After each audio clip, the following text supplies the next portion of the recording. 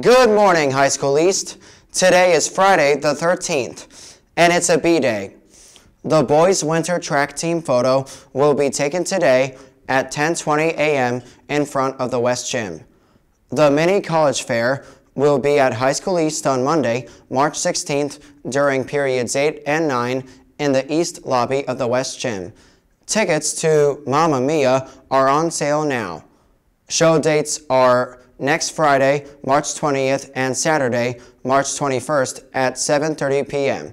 To buy tickets, go to hsemusicaltheater.com.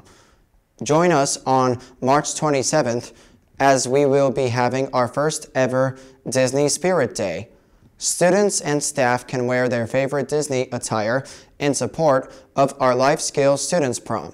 Thank you and have a great Friday the 13th.